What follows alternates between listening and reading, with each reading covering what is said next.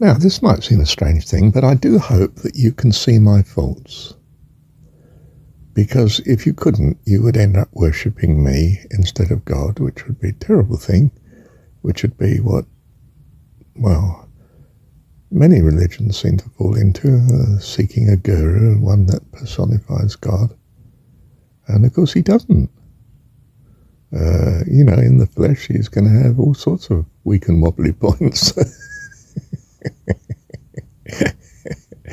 And I don't mind if you're seeing faults in me that I don't have, even because uh, that'll keep your feet firmly on the ground too. By which I mean, you'll still be looking for God, the personification of what you truly value, not what I truly value. Do you see?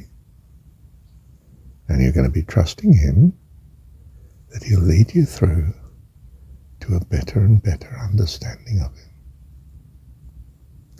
Because He's your dad and He's well able to do it.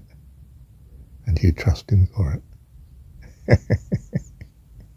so, enough of me and enough said. Bless you. Thank you, Heavenly Dad.